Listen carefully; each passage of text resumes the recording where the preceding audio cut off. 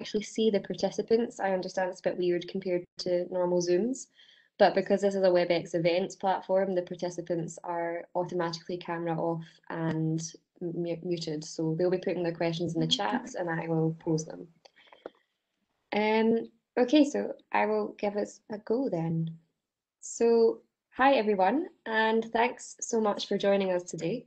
This is the Women and Gender in Diplomacy panel, and it's the last panel of the day of our annual student conference on diplomacy, which has been organised by the Young Diplomat Society at the College of Europe, which I'm a member of. I'm super delighted to be here today with our fantastic panelists. And just to give you a very brief introduction before I give the floor to them, because I know that's what you're all here for. But diplomacy is, and if you're in IRD, you'll know it's an evolving practice. And gender and topics such as women's rights have become more and more pertinent. And I, the purpose of today's panel is to discuss what role gender has to play in diplomacy. So we firstly have Dr. Jennifer Cassidy, and I'll call you Jennifer from now on, but, who is a lecturer in global governance and diplomacy at the University of Oxford. She specialised in digital diplomacy, social media, and of course, the role of gender in diplomacy. And she actually edited a volume, or the first volume, on gender and diplomacy theory and practice in 2017, which provides a detailed discussion of the role of women in diplomacy, both in a current and historical perspective. And she also has a wealth of diplomatic experience outside the world of academia. And then we have Evelyn Regner, who is a member of the European Parliament from Austria as part and part of the wider Socialist and Democrats group. She is the chair of the Women's Rights and Gender Equality Committee within the Parliament, which explores the kind of cross-cutting role of gender from the digital world to the COVID-19 recovery and from what I saw earlier, most recently has called upon the EEAS, for instance, to and other European agencies to systematically integrate gender mainstreaming and intersectional perspectives into the EU's foreign and security policy. So I think we've got a really great range of speakers here to look at the practitioner side and academic side of gender today. And with that, I will shut up and give the role to Jennifer firstly. Um, thank you so much for um, that introduction and um, and thank you for inviting me uh, to this this wonderful conference uh, to speak. It's my pleasure uh, to be able to um, speak to you all on, on, this topic that I'm, you know, extremely um, passionate about.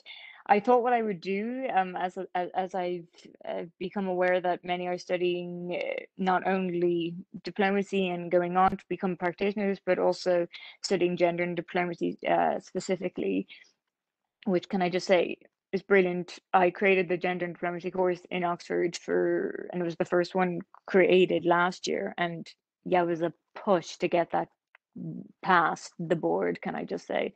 And I know this being recorded, so I don't even mind saying that. Um, so um, I just thought I'd, uh, yeah, as as mentioned, I I used uh, used to be in the diplomatic sphere. I served for uh, Ireland's mission to the UN in New York. Uh, quite a quite a contentious seat to see, to sit in in the General Assembly. Iran, Iraq, Ireland, Israel. So that was quite a fun, well, I wouldn't say fun, but um, enlightening time. Then I also worked for the European Diplomatic Service in the Kingdom of Cambodia, working on the Khmer Rouge tribunals um, for two or three days a week. And the rest I'd work on human rights and development issues within the within the region, primarily economic land concessions. And then I was posted back to headquarters when Ireland had the chairmanship of the OSCE 2012 and the Council of the European Union for 2013. Um, and after that, I decided diplomacy was not for me because many a time I was tempted in the General Assembly to to press the I've told my colleagues this in foreign affairs who I get on with well, but press the button in the General Assembly and be like, Ireland disagrees to change foreign policy on the spot. I never did that, by the way, but I realized diplomacy was not for me. um, I was I needed I couldn't be that restrained.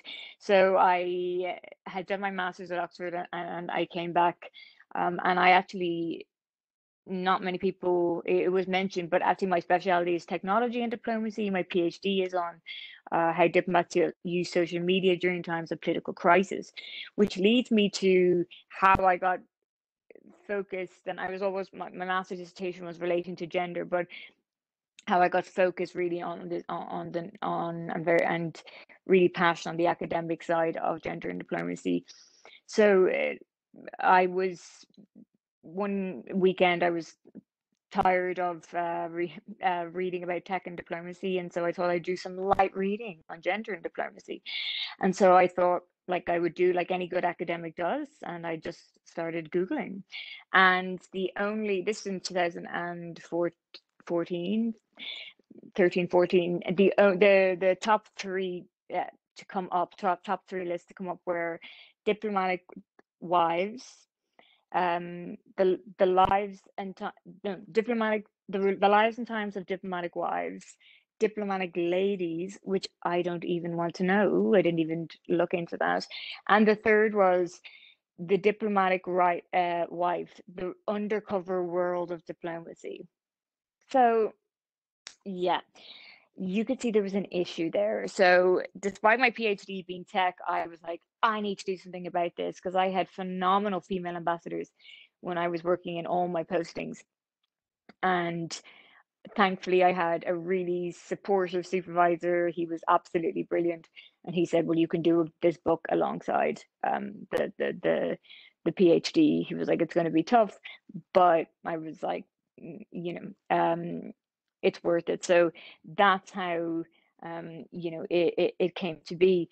And so the book really for me, it was the the first yeah edited volume of, of gender and diplomacy, and it has a number of, of diverse voices in it. It's the head of UN Women, um, the executive director, who's still the executive director.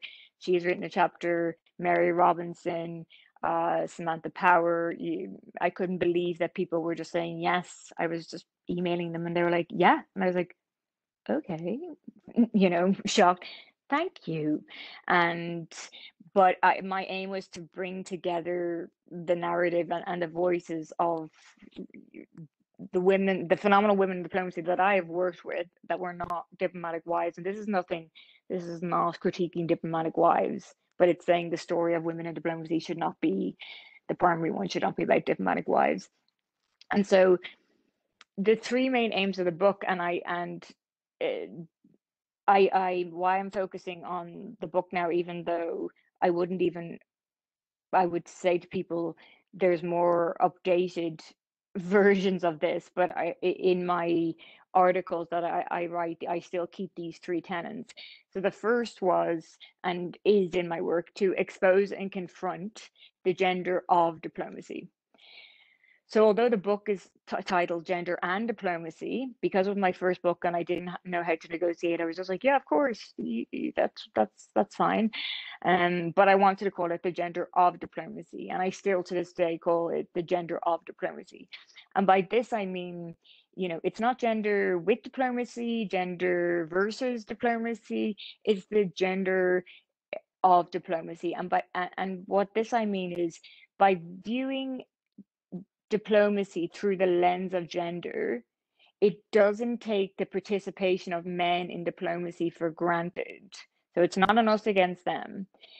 Rather, it seeks to interrogate how masculine norms and values have shaped the diplomatic realm and shaped the diplomatic sphere today. So it really takes away from this, you know, it's a uh, you know men versus women or this notion of, of gender or women can only ascribe to certain gender discourses and men can only ascribe to certain discourses.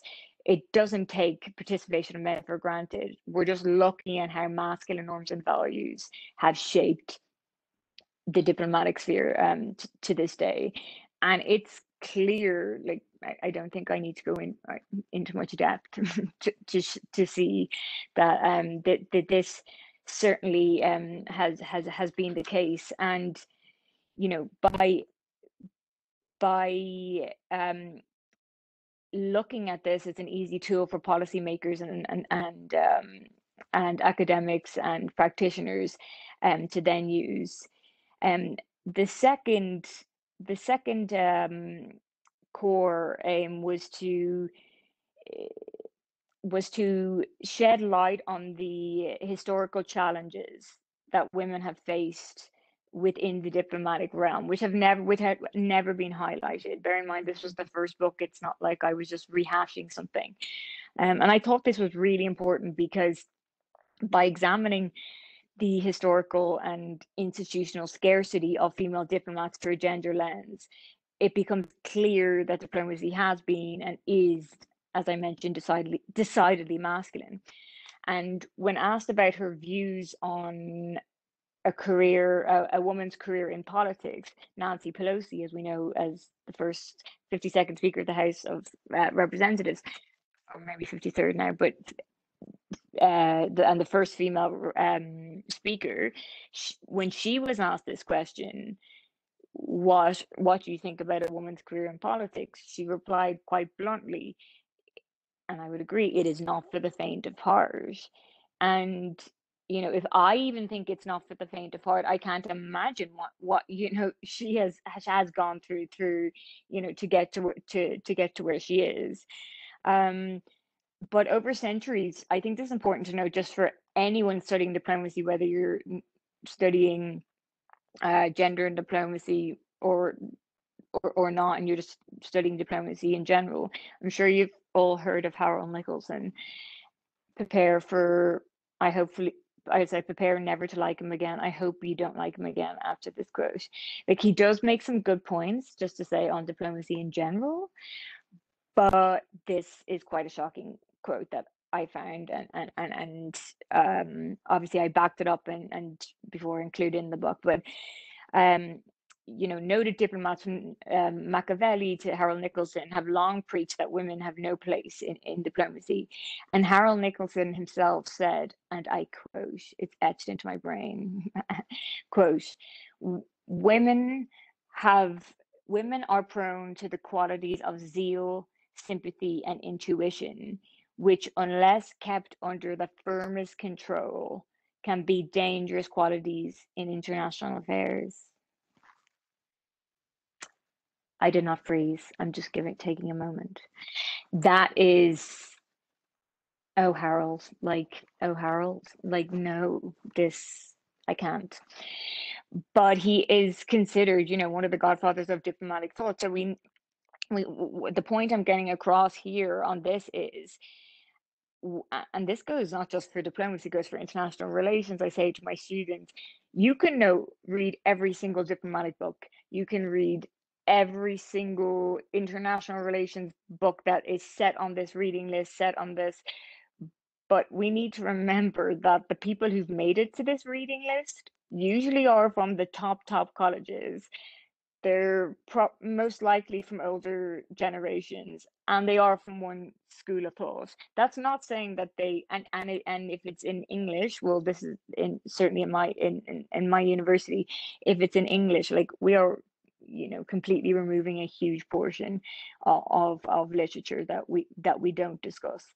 So you know it, it is this thing of like you should always question what you're reading. Just because you know exactly what's right in the exam doesn't mean it's exactly you might be answering the question right doesn't mean it's you know technically the right answer. Um but yeah moving up from that the third and the final uh the final uh, tenant or contribution was to examine the current conditions and, and the current obstacles that women face, uh, which which are many, um, and it, within the diplomatic within the diplomatic sphere, and two two chapters I will just highlight here, which I think are extremely interesting. One is by Ann Towns and Birgitta Niklasson, and they wrote within the book a, a fascinating chapter and where they quantitatively mapped 9,000 female ambassadors from the top 40 OECD countries. And what they found was at the moment, at the time of writing, there was 16% on average female ambassadors around the world. And let's just say that's amazing. Let's just say, like, wow, that is, we are amazing for having 16%, which is not, but let's just for hypothetical sake when you look at where those 16,000 are placed, they are not getting you overwhelmed like overwhelmingly this is not just like a small thing of, uh, within the within the statistics. They are not getting new york they are not getting geneva they are not getting paris they are not getting brussels they are not getting beijing. They are not getting the power postings. And so although we're seeing a rise in female um, diplomats we need to the question that i have now changed is not how many women are there, but also where are the women. Now, when I presented this to um, my uh, Department of Foreign Affairs Ireland, who you know I get on extreme extremely well with, um, still I I said this to them, and they replied to me, "Oh, but Jennifer, you know we've had a female ambassador to Washington, New York, Brussels, um, Geneva, Paris," and I to which I replied, "Yeah, it was, but it was the same woman." Like it does not count if it is the same woman being rotated around all the postings. Like that's not um thing. And the other interesting study they found it was fit they did a study of 15,000 junior diplomats. So it's not just the top because we regularly think, okay, it's 50-50, you know, when they come in. But in violent and war-torn regions, women are less likely to be posted to these regions. Now, I have to make the caveat that women are less likely to put themselves forward for this also. Um, so it's not just people not picking them. We can go into a whole host of why they don't put themselves forward, but it's not just a panelist of people saying, I'm not picking women to, to go. Like that simply the choice isn't there. Women do deselect themselves out of the process. Now there's a more like myriad of reasons for that, but for another day.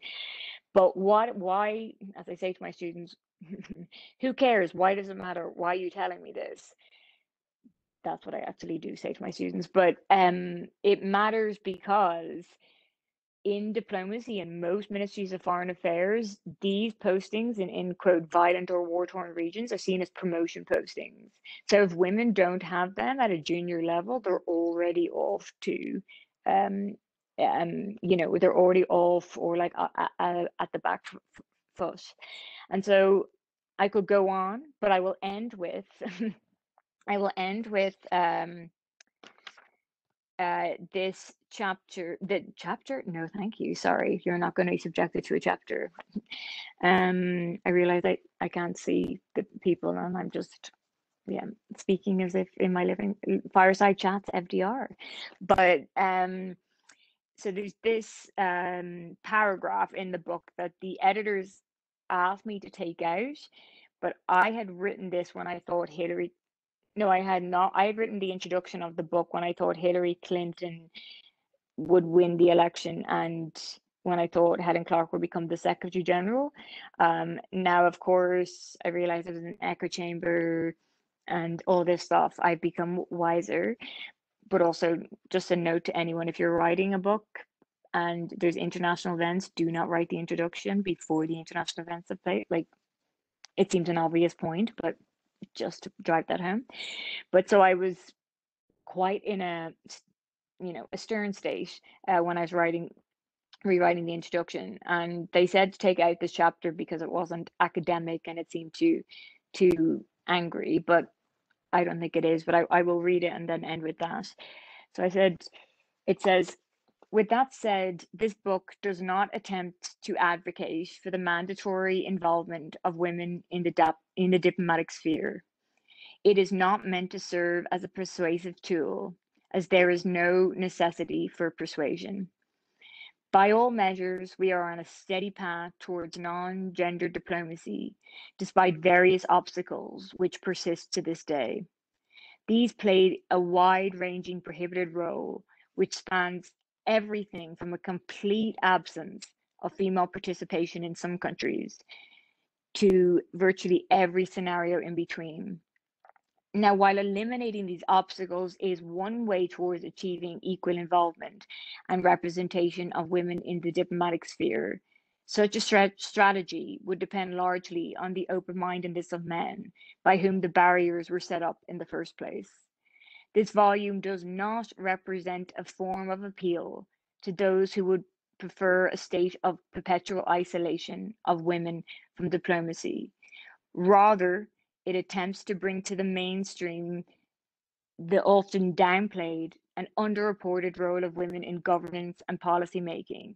And more importantly, it strives to showcase, and I think this is the key word, the inevitability, the inevitability of increased female representation in the realm of diplomacy, despite deep seated doubt, resentment, sexism, and misogyny.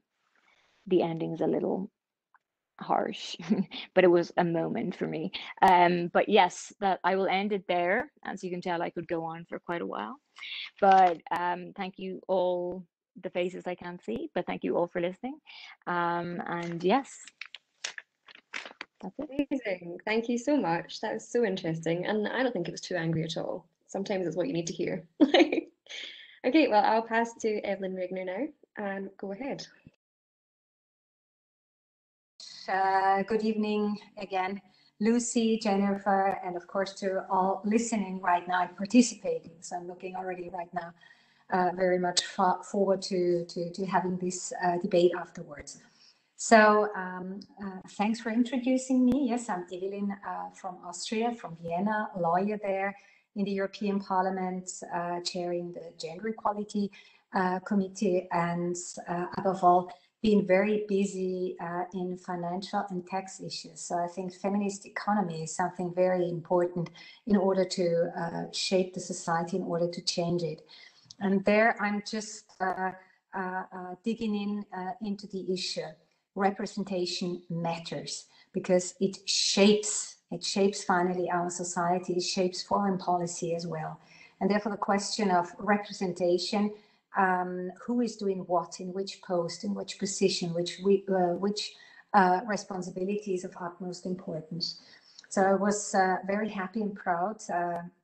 that's uh, now it's almost uh, more than two weeks ago uh, to have for the for the 8th of March, the International Women's Day.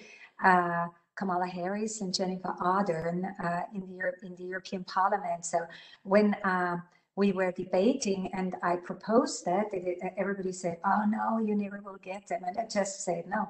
Uh, I think there's also something very typical sometimes to be so modest. No, we want the most fantastic, the most, the, the, the best speakers, the best idols we could have. And I think Jacinda Ardern from New Zealand uh, and uh, Kamala Harris were really excellent because what's happening right now, COVID, um, terrible effects, especially on young women. So we have fact figures. There are so many things happening, unemployment, uh, violence rising up. And according to the first studies we have from IGID, International, uh, the, uh, not the International, the European Institute for Gender Equality, it's above all well qualified women, young women, the young women who are the first who are suffering. Why? For young people anyway, it's difficult to enter into the job market, to have the accession to those fantastic jobs and to be a woman isn't an, an advantage. So, so watch out. And therefore, it was excellent what Jennifer did right now to be angry. Anger is a good basis of really pushing to change the situation. And in these times where we have on the one side huge backlash, and on the other side, thank God, young women and men being angry, that is a good uh, uh, way also to to push for uh, another foreign policy. We had um, uh, uh, this week, uh, the I mean, it's it's already lasting a little bit longer, but um, the um, the CSW, so the delegation this week, year to the Committee on the Status of Women in New York, didn't took place in real times, but in a digital way, and that meant uh, that we had a delegation. I was chairing there, many uh, female members of the European Parliament, excellent uh, men as well. And then, and therefore I mention it right now, and coming to the issue, of course, uh, the negotiations on the conclusions on gender equality.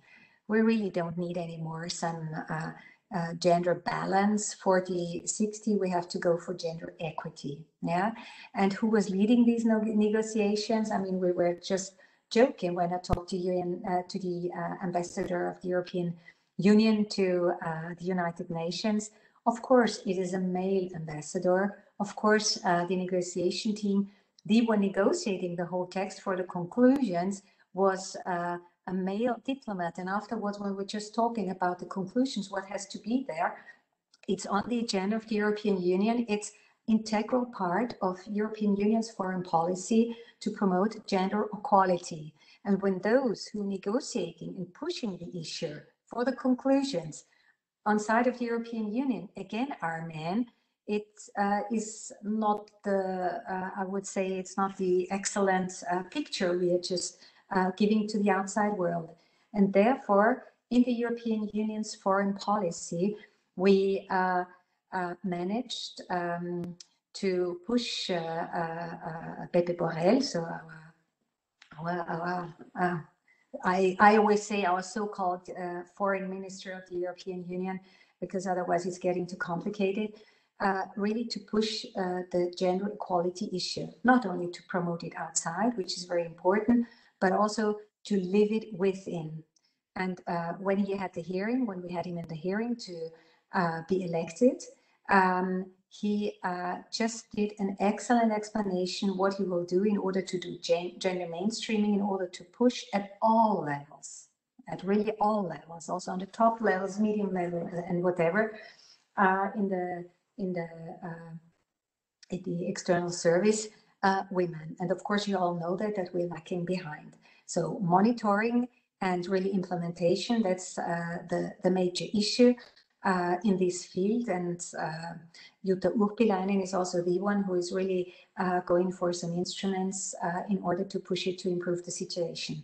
So somehow we know the Euro uh, European Union has the obligation to do the politics and also to do it internally, and still we are uh, missing there the right steps. Two days ago, and therefore the question is always, what can we do in order to improve the situation?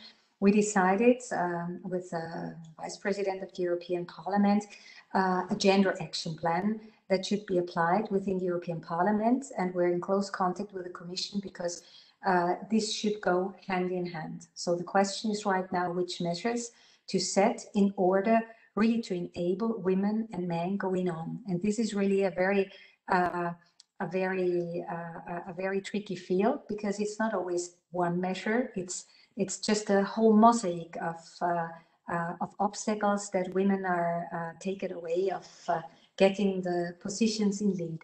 I'm just looking down right now because I would like to give you some data I was picking up. You might know, but maybe not. Only 15% of the worldwide ambassadors are women. Numbers from 2017 show that the whole world had only 15 female defense ministers, out of the 47 Council of Europe members, only five have female foreign ministers.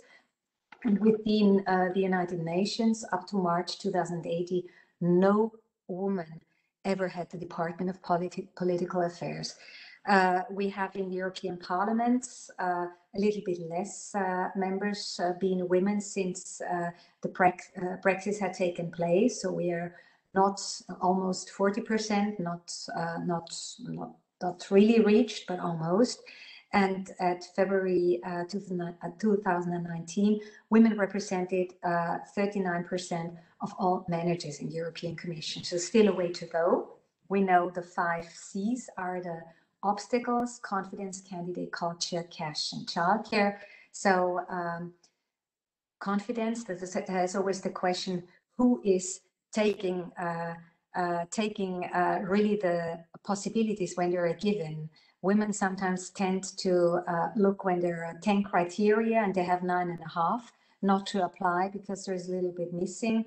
Men are just pushing and uh, going ahead also in foreign when, when, it's about those jobs mentioned in uh, in in in um, in foreign policy.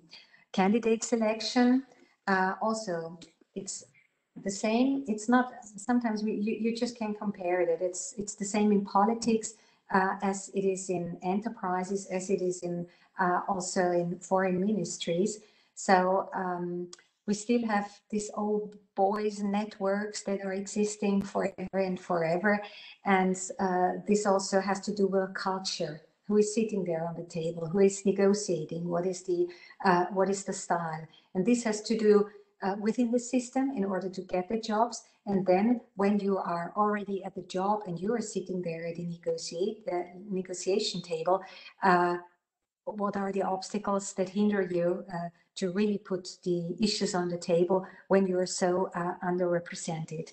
Cash, that's for the for the uh, companies or also for political jobs. So that's not for the foreign ministries, but uh, it means normally it's for women far more difficult to get uh, to get the, the, the the support when they're running in politics or to get the the money when they're going to the banks in order to uh, run a business. And finally, up childcare. I'm just mentioning that too because this is also an argument in in uh, foreign uh, uh, in foreign politics because to manage all that, this is also really a question which is not easy. We just have studies. Uh, I'm referring right now to women put, being pushed in top position in different fields, such as bank and the top of the banks, or uh, in the top of uh, political areas like mayors. In Austria, found out there are more um, there are more mayors whose first name is Joseph, just one name, Joseph, then all female mayors together. Imagine that. We were just referring to little cities and we're just counting them. And then you just see when uh, digging deeper, what is the obstacle? I mean, it's all this. It's that uh, do you want always to to to go in for this uh, working style to hang out in the evening and have an additional whatever whiskey somewhere in a veranda i mean there are different cultures different styles couldn't it be also possible in another way?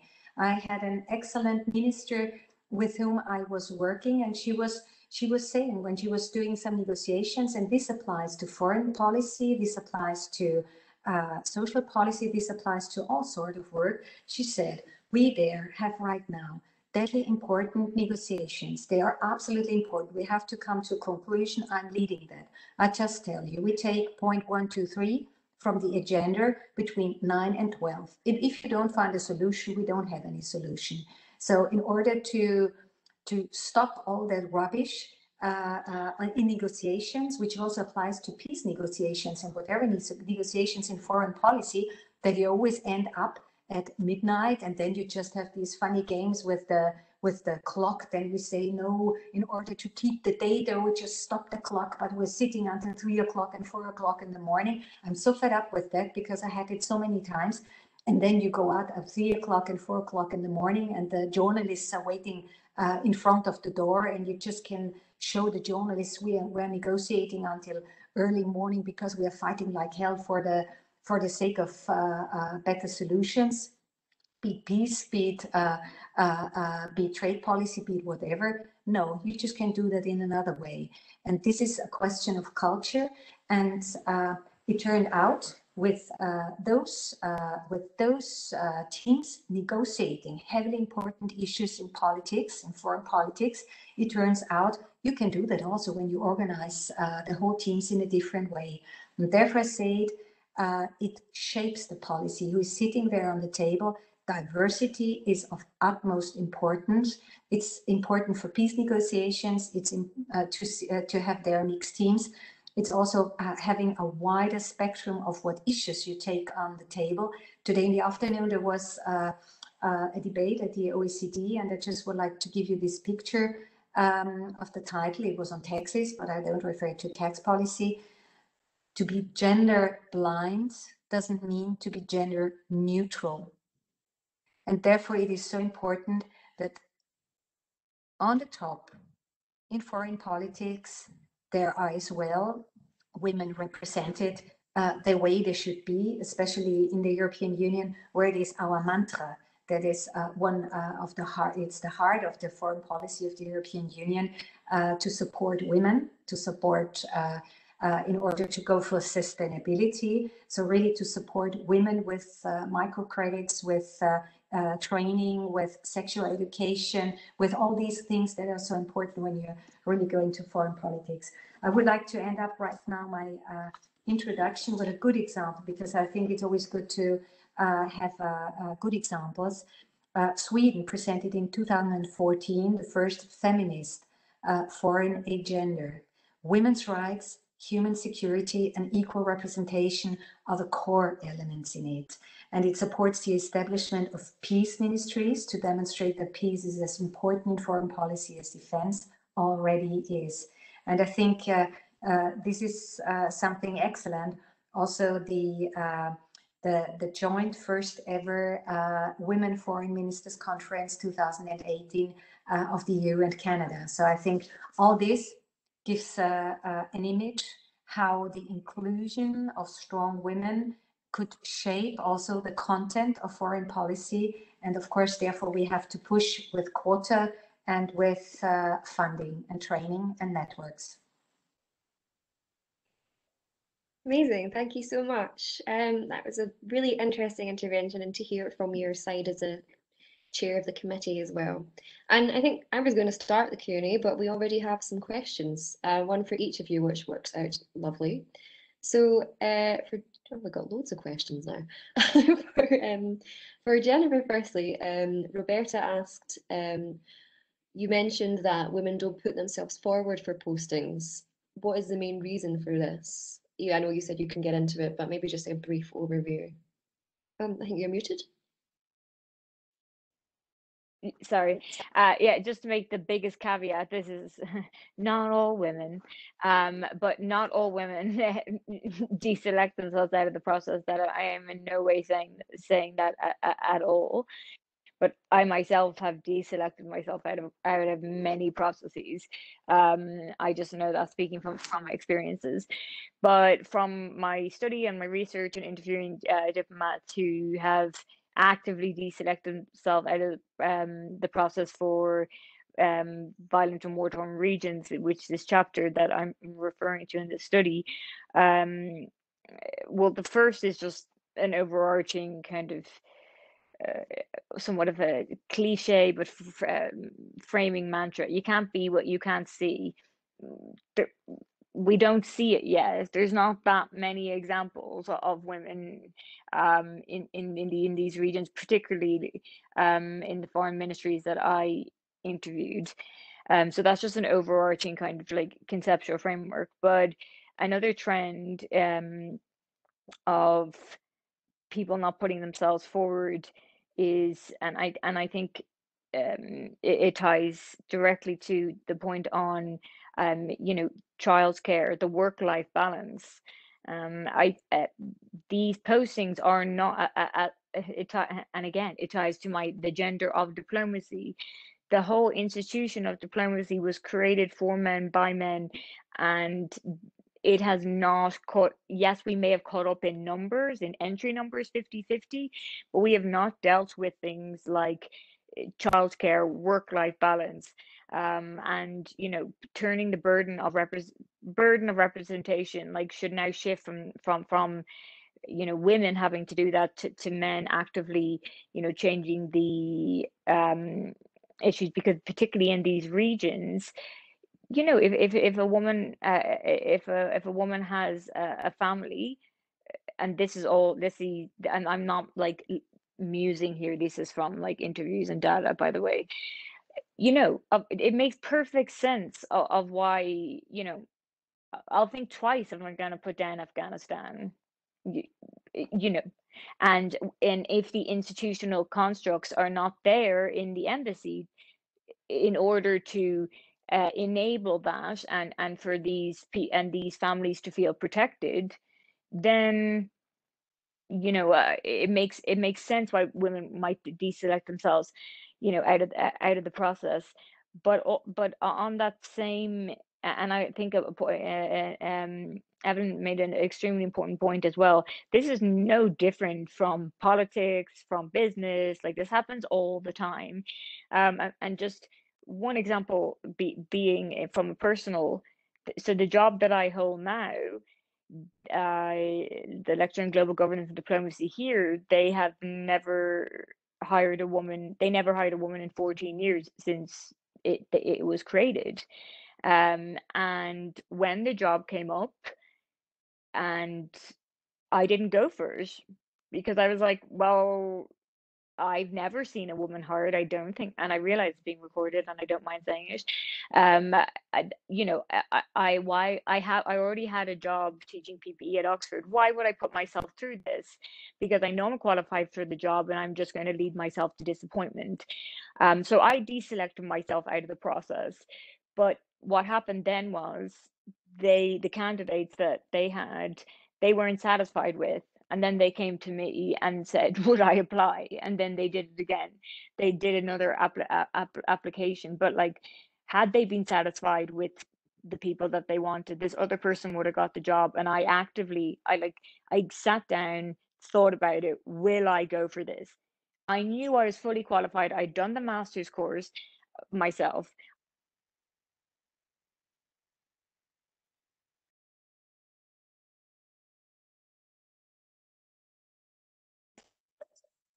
wouldn't be a technical conference, well, a WebEx conference without any technical issues, would it? Um, okay. We'll give her five minutes to come back. Is this, is this? Okay, there we go, back. Yeah, yeah. um, yeah, I just went, sorry, I just went on to uh, 4G, but yeah, I'll just end it there saying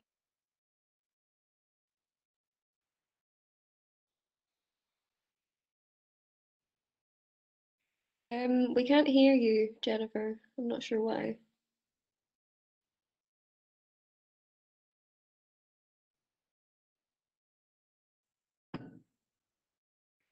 Um, it might be easier if you, in terms of like the WebEx connection, maybe if you turn the camera off and then just use the microphone. Yeah. Yeah, okay. Just for the time being, and we can try it again in the next question. Yeah, can you hear me now? Or perfect. Yeah, hear you yeah. perfectly. Yeah. Um. Yeah. We was just to end with. I don't know how much you heard.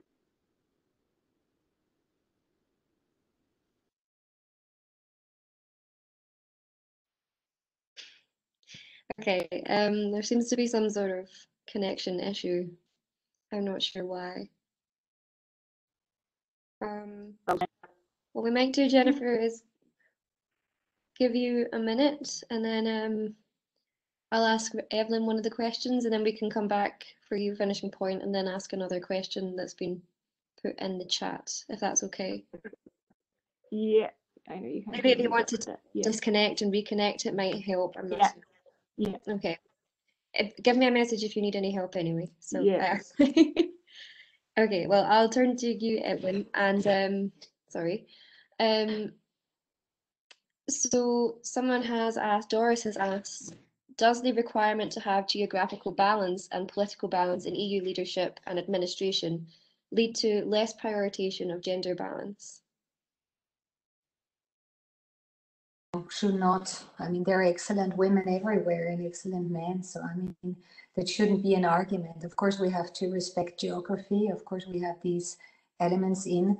But uh, what what we did right now with this gender action plan in the um, in the in the European Parliament is wherever there is an option to say, okay, uh, let's have candidates, a candidate, a female and a male candidate. What we are lacking, why we why the situation sometimes looks so terrible uh, in the European Union is that most of the times it's member states nominating. So and the member states if they're all nominating a man for this post and then a man from that post, and we just have men. So somehow, sometimes it's also very difficult for uh, the European Commission then to uh, look to say, even if they say, okay, we need more women, um, that the nominations don't reflect that. And therefore, uh, this whole nomination policy should go more in the direction that uh, that uh, both a man or a woman are uh, proposed, or it depends also on the post if it's possible that uh, I mean that that there has that's not always necessary that there is a competition then directly whatever.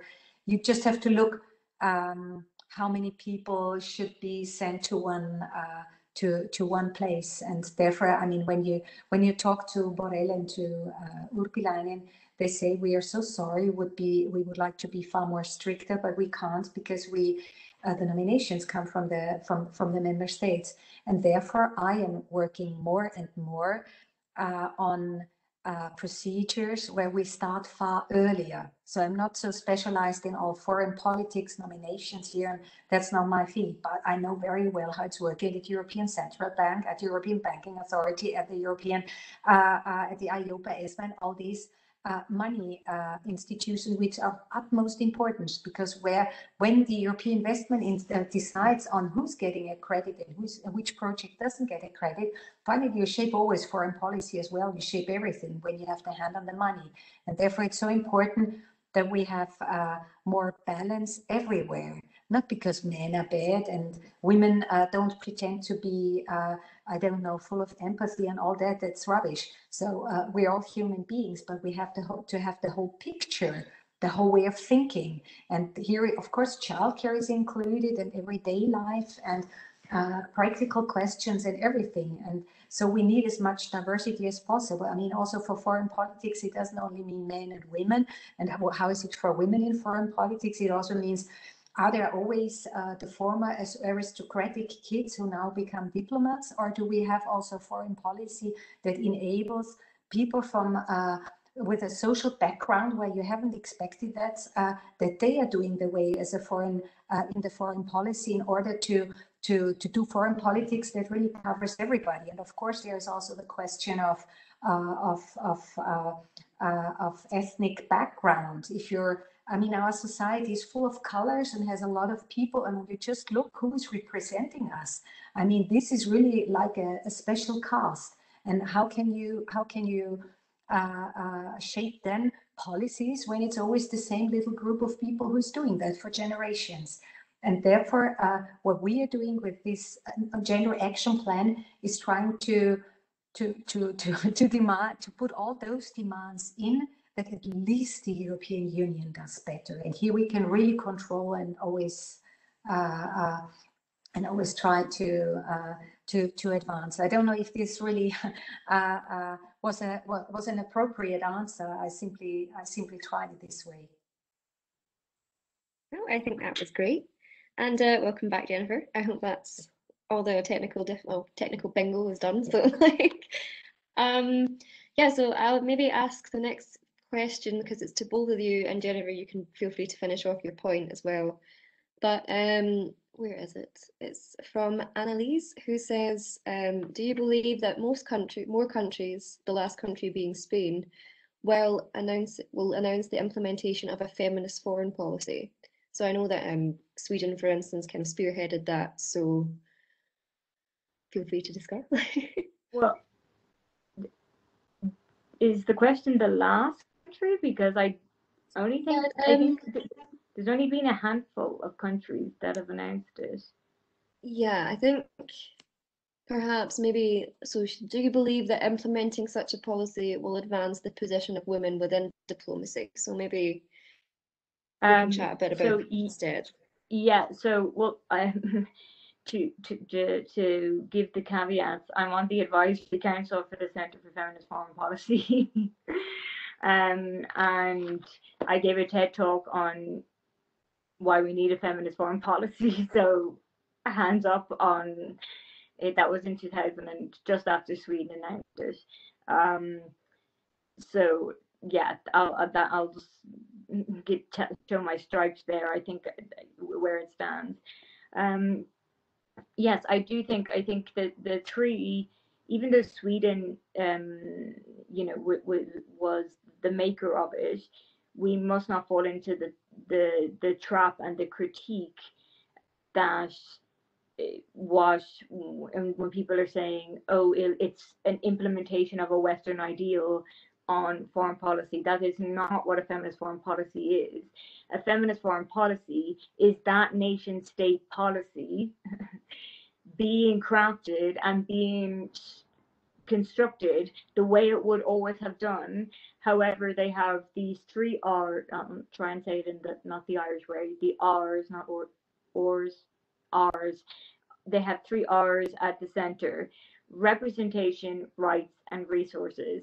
That is representation of women in all aspects of policy. And one of the greatest quotes about that I always turn to about this is nothing about us without us. I think it's, you know, that's just like a basic ask, you know, resources, that resources are given to um, to women to promote gender equality, which we know, like we fundamentally know the research shows, creates a better, more stable society. Um, so rights and, and then just the basic fundamental human rights um, are given to women in society. And so it's not a promotion of, of, a, of a Western idea. And so, of course, it is going to create a, a better um, and more stable society. And, and one, I'll leave it with this is uh, just when the first lockdown hit, or like a, a few, uh, maybe a few months into it, Oxford asked me to give an Oxford uh, Oxford at Home virtual talk, and they said um, would you give it on why are women leaders so successful during the coronavirus um, pandemic?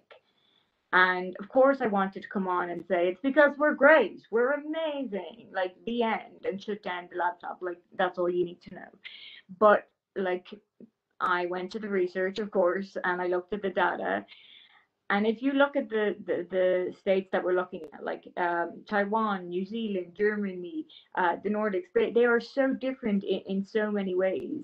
But what the research showed is, and this is not taking away from the phenomenal job that these women leaders have, have done during the coronavirus, but the variables of a stable health system, you know, gender equality, you know, respect for all, um, like all all races, good healthcare systems, that stable society allowed these leaders to emerge and they allowed this these leaders to emerge and for the people to have confidence in the leaders. So when the leaders say you know what? We need a lockdown. You know what we did? The people trusted the leader. So it is not in any way taking away from the phenomenal job these women leaders have done but it is showing that it is a they are elected as a result of a very very stable concrete society which is what a feminist foreign policy would do not only in their foreign policy but also uh, reflected in their domestic. To add a little bit exactly that's it because it's um, also to say sometimes, and uh, I was just when I, I mean lockdown, the first lockdown when it, the whole thing started, it was nobody knows what's happening here. What what is the best solution? So one can only try here a step, there a step, and ask the population to have trust. And uh, when it just looked, for example, to New Zealand, which is Jacinda Ardern, she said sometimes, I think I made a mistake or I can only hope that you are trusting me. So it was not like, for example, in my country or in many other countries, when you just have a leadership who says, I show you, I know how, how it has to be done, go with me. And if something is not working, of course, many things didn't work because nobody knew what, what are all these effects. Then they always try to find somebody who is guilty, who made a mistake. Uh, and um, I, I, I, like this very much also when we look to Finland, to Sanna Marin, because they have such a young leader. So it is always, and this picture, and I think, I mean, now we're not only in foreign policy, but I think we always can learn from, from each other. Uh, and it was in Norway. I think in Norway it started, and it was done in Finland by Sanna Marin as well, to make a press conference at I Hate to children. And this was not a joke for publicity, but to say, Look, I make a press conference with simple words, but I uh, explain you why you can't go to school. And I know this is also difficult and whatever. And this, I mean, uh, is, I mean, these are any, anyway instruments that have to be applied everywhere when you are when you're in decision making, when you're doing foreign policies, when you're negotiating uh, uh, uh with crazy people, to um, to be inclusive and not to try to convince of your narrow-minded whatever picture. And therefore i liked very much those female leaders because they acted in such a different way but uh, always as inclusive as possible. Yeah i think you're right. I think to add to that as well i'm scottish and i think in the uk you see a lot of the contrast between nicola sturgeon despite current issues and boris johnson. She was often explaining the same rhetoric, like I'm asking you, I know it's not fun, I know it's not it's like hard to ask you this, but please get on board with me. So I, I feel a lot in what you're saying. Both of you, it's really interesting. But um I think I'll come to, there's a question for you both now from Stephanie. They're two separate questions, so I'll read them out and let you go to each of them. So uh, for Jennifer, Stephanie asks, um, she's interested to know your thoughts on the EU's efforts in post promoting gender equality. So Ursula von der Leyen, for instance, announced a Union for Equality as a priority of her commission and is publishing a, or has published a gender equality strategy for 2020 to 2025. And for Evelyn, uh, she's asked if you can comment on the EU and African Union cooperation on gender equality and women's rights. You know, the new Cotonou Agreement negotiations have been pushed back and there's been certain EU member states on language or pushback on the language concerning non-discrimination on the basis of sexual orientation. The questions are quite long, so I think you'll be able to see them in the chat. So if you want to read them in full, go for it. And whoever wants to start. I will just say on the back of women leaders saying, I don't know at all, that I don't know the exact answer to this question, um, I'll put my hands up and say uh, I can give an overview of of, of how, how I think the EU is doing. That, and and I think the Evelyn made an excellent point saying you know since the UK's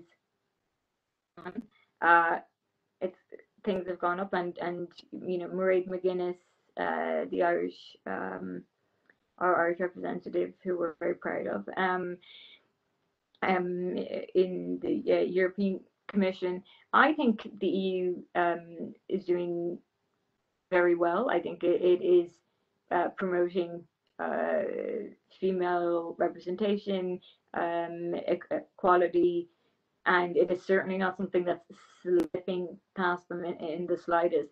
But regarding the specific policy that was just mentioned, I would be lying if I if I could speak on that because it's been a long two terms and it may have slipped past me, so I'm sorry. speak on that because that's my business. That's what I'm doing every day. so, I mean, just in few in, in, in few words. So, the, uh, uh, of course, it's great that we have the gender equality strategy of the Commission and the um, uh, major issues in there is right now the directive on the pay transparency to fight the pension and the pay gap. Absolutely important. And in short words, I can say it's a good proposal. It's really good proposal. There are some things we have to change, but it's rights based so that it is a right of women. You can go to the court and you have the right to get this information once per year. And if it's a bigger enterprise, then you also have the uh, procedure, which you regard as very important, that they have to do something like a reporting uh, and comparing the categories of male, female, whatever workers in there. So all in all, we can say it's good, but it still has to be improved. So that's one piece. Another piece is Women on Boards Directive to have really female leaders in companies. Well, I'm the rapporteur. We, we are waiting for some member countries who say it's important to have uh, women in leadership in companies, very important, but we do that on our own at the national level, and then they do nothing. So that's our uh, that's our problem. But here uh, uh, we are pushing, and I think we always have to be not patient, very impatient, but to have a long breath and to be marathon runners. And then there is a third piece. I don't want to bother you with all the uh, uh, the things that are in there, but are very highly exciting. Is uh, a violence package. And this also fits with what was the question of, uh, uh, of the Africa strategy. I mean, we have in Europe the Istanbul Convention, which is quite simple. It simply says, I make it very simple, there is an obligation of the state, of every, of all authorities to protect women against violence. That means it's not something where you can say, it's private. No, domestic violence. This is a task of the uh, of the leaders to do something against, and that means juridical action, enough uh, shelters. That means also um, a lot of uh, fighting against stereotypes via uh, education. So there's a lot of work not only to punish and protect, but to do that already beforehand. And uh, when the Istanbul Convention can't be implemented, because as we know already right now, Turkey, others, I mean, that's right now, European, not European Union, of course, but uh, others uh, don't want it to present a strategy how to protect women not only against femicides, but also against cyber uh, violence, harassment, everything what is uh, hate speech online. There is a lot of tools we can do, and that's all in there. It's all very important. I just tell you one thing: we're living in times where we have uh, men and women who want work-life balance, so going on, getting more modern, men as well. And on the other side, we have those backlash countries and it's uh, it's getting tougher and tougher, and you all know that. And why I say that has to do also um, to do with the Africa strategy, simply because as one of the major elements of foreign politics of the European Union is empowering women. That's it, helping them, uh, because then of course it has to do with the population development all over the world if you empower women, then they don't use too much wood and whatever, uh, which is also uh, important for uh, uh, the fight against climate change, to do sexual education. It's one of the peace elements to, to, to empower young girls and women over there.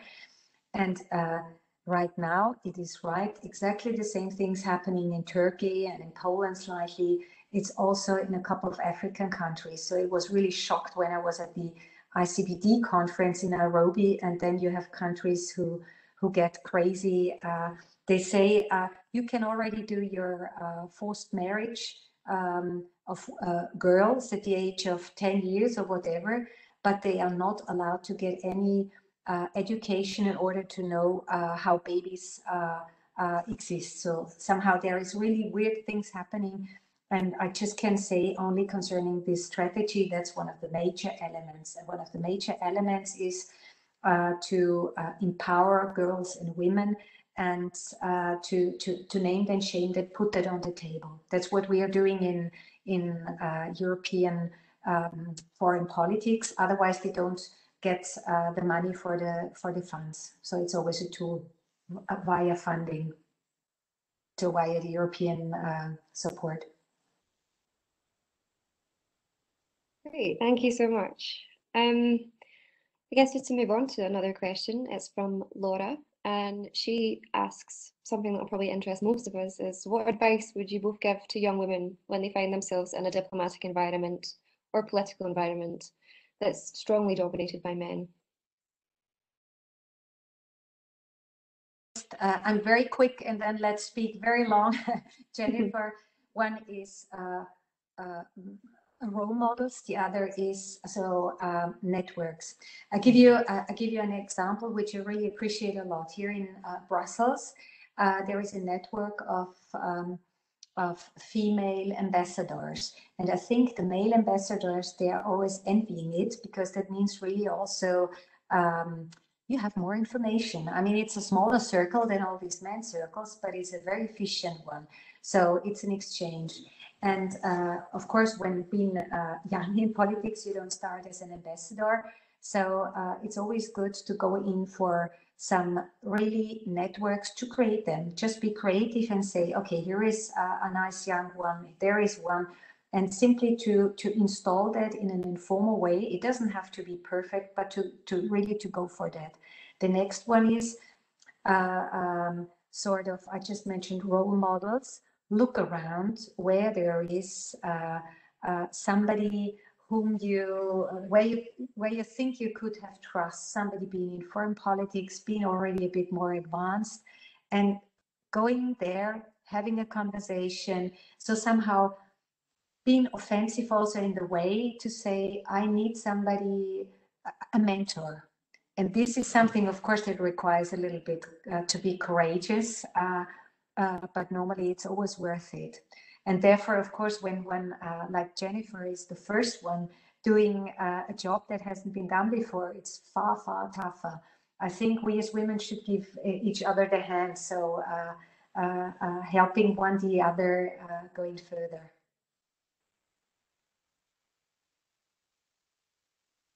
I should say I'm, I'm probably not the best person to speak on this because I left diplomacy, but um, um, I, I left for for a variety of, of, of reasons. One, I didn't realize Ireland was going to change as fast as it did regarding its policies, like equal marriage and uh, reproductive rights. Like we've just done a completely U, like a U-turn compared to when I was there, and I just wasn't prepared to, you know, be in a. I never thought we'd even have a referendum that fast, so I wasn't prepared to kind of dissent my whole life, and I decided to um, um, leave. And yeah, it was. It, I have to. I have to admit, it was like one of the reasons I left. I'm just being completely completely honest.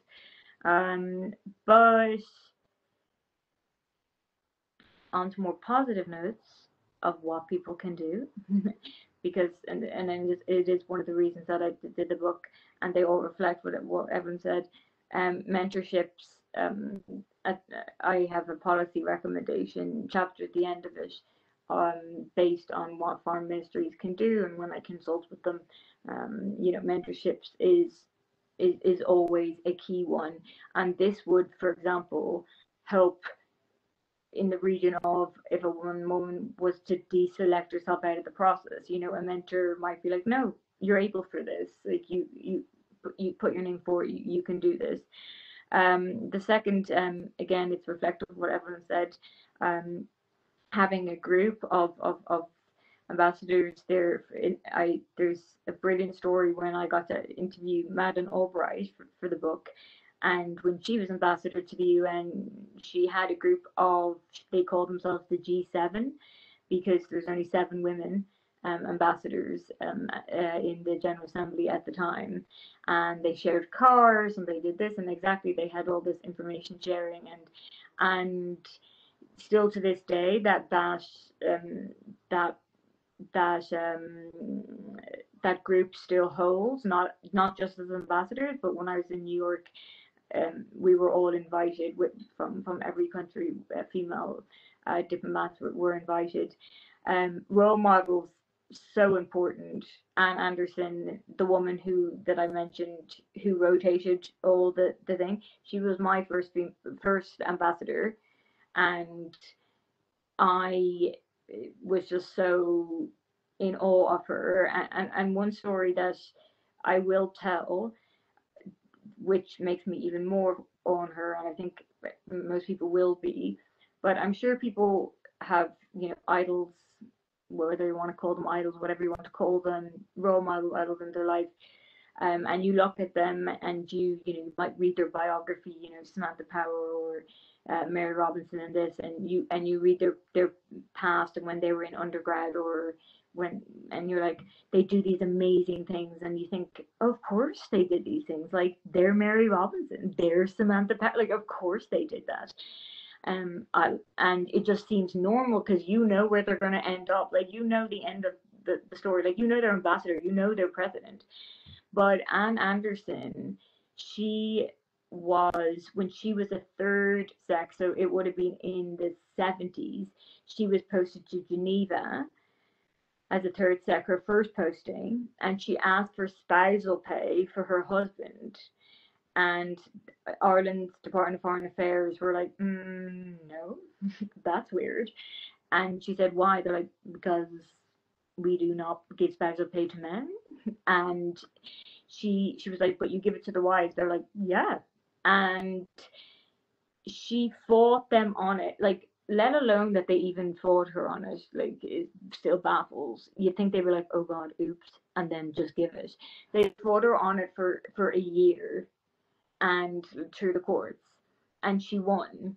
And then men were given spousal pay, but that was we need to remember at her most junior level of of uh, um as a diplomat for all she knows, or all she knew, she could have been the bravery. I don't know if I would have had the bravery the bravery of her to do that, she could have thought, I, I will be blacklisted. Like, she eh, for you know for all these different promotions she didn't know she was going to go on to be the top ambassador and the top one of the top diplomats in the irish foreign ministry so i'm hesitant to say be bold because i've also seen it backfire but i'm i've also seen so many examples of be bold and it works so well. At one point in time someone's to be the case study someone's going to be bold and yet let's not look at our role models and think in their past. They did it because of course they did it with them.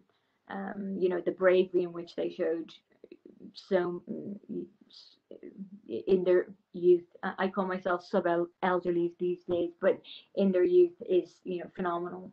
But that's that's the point. Amazing. Um that was really interesting from both of you, and I will take note of that advice for sure. but um, uh, I got a couple more questions. It seems there's two left, and I think one can probably go to Evelyn and one to Cassidy or Jennifer, not Cassidy. but um, either like. But uh, yeah. So for Evelyn, Philippe asks, how can we potentially navigate situation or diplomatic situations where the legal and cultural norms in the country, just to expand upon what you're talking about, undervalues women's rights. And for Jennifer to come back to the issue of feminist foreign policy, Christina asks, well, given that there's so many different understandings of what feminist foreign policy means, how do you understand it yourself and what do you think the different approaches are to it? So she lists a few, such as Sweden, who emphasizes the importance of representation, and the Centre for Feminist Foreign Policy, for instance, demands a more structural change in the direction of disarmament and demilitarization. So I'll uh, maybe give the floor to Evelyn first. Back to you because honestly I couldn't understand. Could you repeat the question? No problem. Sorry, it's uh, just what Philippe or, or what you were talking about uh, regarding like countries with different legal and cultural norms. So Philippe asked, um, how can we navigate these diplomatic situations where the legal and cultural norms undermines women's rights from our own perspective?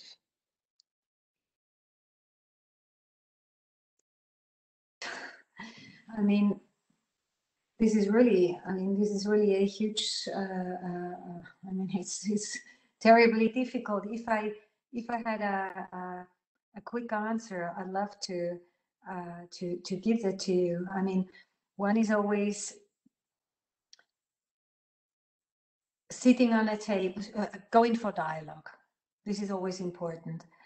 Um, sometimes it's really very difficult, but coming for going for the dialogue and then when sitting there on the table to uh, to to sit there in a table where you have the really the, the the, the face of Europe, and this this is not men sitting there. I just make it right now bluntly. My my sister is a teacher, and there are parents, fathers with uh, a background where they say they don't talk to a female teacher. They simply don't talk to her. Um, and she also, of course, would like to spit into the face of such a father huh, who is acting like this. But of course, she doesn't do that, uh, but tries to find ways to say, okay, he has to talk to me. No point about that. But maybe I take a colleague, a male colleague, sitting next to me, but I'm talking. And I think it's also concerning those cultures, those I really call them, I don't want to say even cultures, I say that's patriarchy and i never ever want to uh, to to to uh, um, to end up there where we say we respected that there are uh, systems where women are oppressed, where the child marriage is possible, where uh, really sort of this machismo uh, uh, gets the overhand. So the goal is anyway to change there something. But on the other hand, it is important to sit there on the table as also uh, uh, female diplomats there. So not to go in and say, okay, there are always European Union from the European Union, then there is only the male diplomats negotiating. No, no, no. I admired very much uh, Angela Merkel when she was going sometimes uh, to to Saudi Arabia or to whatever, and there being just blunt as she is. So uh, uh and not respecting and whatever anything uh, concerning the habits of uh, clothing or, or, or so on. So I, I think it is important to be firm, to sit there on the table according to our principles, uh, also always to bring in what the core values and the fundamental rights of the international community are. I mean, when we're referring to that, we don't have to respect some uh, whatever uh, macho habitudes when we have the UN Charter. So we can rely on some principles, but always to go for the dialogue and there to be gentle, to be friendly, but to be very strict on the content. So never give up the dialogue, but be uh, quite outspoken because that's what I learned uh, with my sometimes very harsh conflicts with the Polish government um, you are not appreciated more if you say too many times nicely, yes, you're right. You have to be very strict and very clear and very outspoken on what is okay and what is not okay, but to go for the dialogue.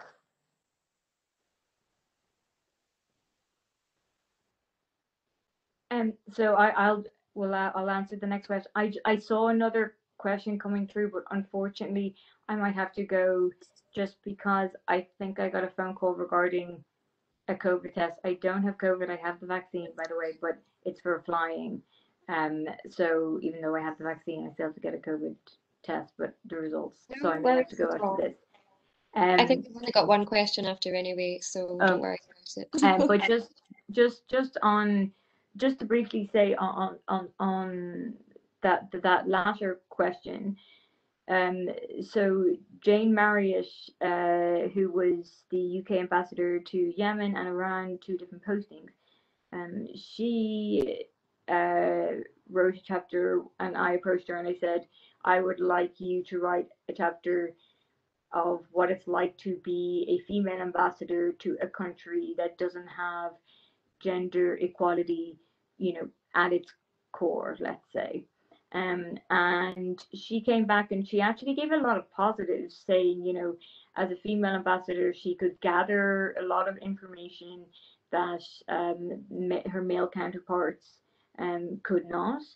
And there was a, you know, she spoke of allyship with other ambassadors. There, there's quite a number of, of, of stories about that, but um, I think yeah, and if, and and regarding negotiations, I would I would certainly agree with Ev- Evelyn um, as well.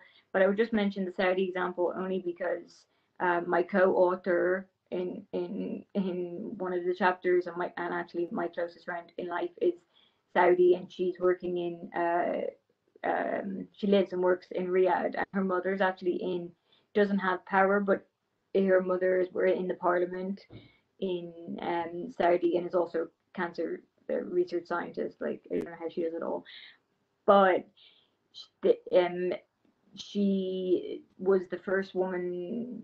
My uh, friend's first woman to get a Saudi woman to get a PhD here from Oxford in genetics, and and but she still can't vote in her country, which you know she's like can't wrap my head around that one. Um, however, it's when we're negotiating with these countries um, or there's a negotiation with them, yes, you want to be sometimes like, how dare you say that? How dare you say that? But I am such a pragmatist in, in and this is just my personal view in, in everything I do, that if I'm like, okay, if my outcome is X, that is, I want increased you know right or, or this i will act in a certain way in order to achieve that objective even if it really isn't in line with how i'm actually internally feeling. So although you may have like this this sea of men like using saudi as an example sea of men in, in front of you negotiating you know behind the scenes are women who actively you know want you to be there and want you to work and promote for for for their rights and and, and things. So it's a hard balance, you know. You don't want to be like, yes, of course you're right, like this is great, and then you don't want to be too tough. So yeah, it's a kind of read the room um, situation. And then finally, regarding the feminist foreign policy, so I think that is that that question is, is and this is obviously not meant to in, in, in any way insults the person who asked the question not so much a question in insofar as so I'm on the advisory board for the Council of the For so Kristina Lunz, who runs the Centre for Feminist Foreign Policy, used to be my student. Um, but Margaret Wallstrom is also on the advisory board, so we all share the same. You know, we all everyone on the advisory board has different views on, on like we all share that it's like it's the uh, you know decolonization disarmament all, all, all, this but you know we might not define it in the exact same way but i think it's testament to the fact that if you just go on the cffp you know website and they were you know awarded forbes 30 under 30 you know for their work and their advocacy um you will see that the, the diverse people on like the 10 of us on the advisory council and we don't all agree on this exact definition of a feminist foreign policy and i think that's a good thing. You know i don't think there should just be this label again. If you have this, this concrete label it will stick on that it's like this is the policy and we're imposing it on on this. You know we all have a different version of it based on our own like nation state or historical context or like social views so the Swedish Sweden versus CFFP doesn't really stand in, in, in the respect that Margaret Wallstrom is CFFP as well. that makes sense. Yeah, I think that's a great answer. Um, so if you need to go, then feel free yeah, to. just in case it's the test because No, I'm don't paranoid about this. Sorry, because- I, I also have to, to, to leave right now. That's so okay. I was just going to say that indicating- we're just wrapping it up anyway. So um, Thank you so much. hour and a half, and thank you so much. You've given such amazing insights, and I'm super happy to have met you both even virtually. And I can assure you, all our participants have, even though we can't see them, definitely probably had a great time. So, and it's been a really interactive session, and I've really enjoyed your answers. So thank you so Thank much. you for having us. Thank Thank you. you. Yes, Thank you. And have a nice Bye, weekend. everyone. All the best. you. Bye. Bye bye. And bye. Bye bye. Just to those listening, any attendees, we are starting again tomorrow with at 10.30 with a panel on tech diplomacy by the European Horizon Society. So do join if you feel like it. Thank you.